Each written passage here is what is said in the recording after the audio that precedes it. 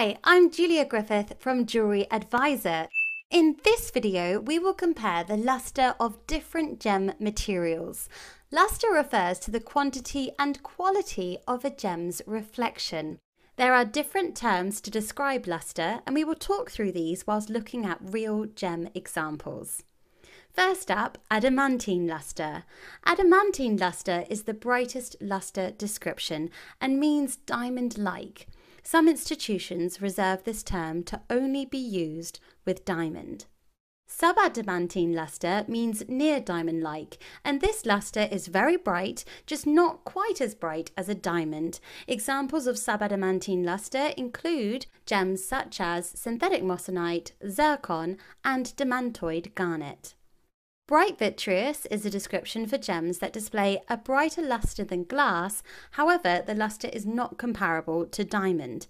This term is used to describe the luster of many gems, including ruby, sapphire, emerald, cubic zirconia, topaz, spinel, and quartz.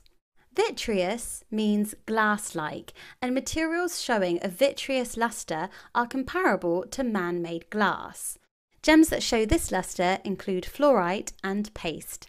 To show two of these lusters side by side, here is a close-up of a GTD, which is a garnet-topped doublet.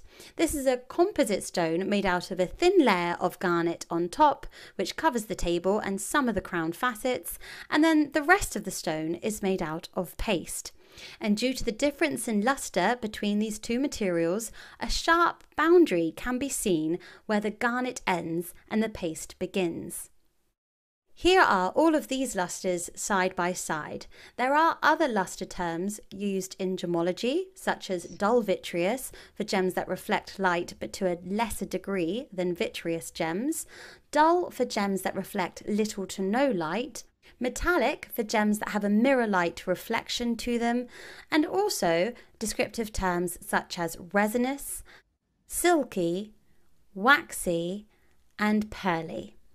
I hope you found this video helpful. Subscribe to the Jewelry Advisor YouTube channel for more.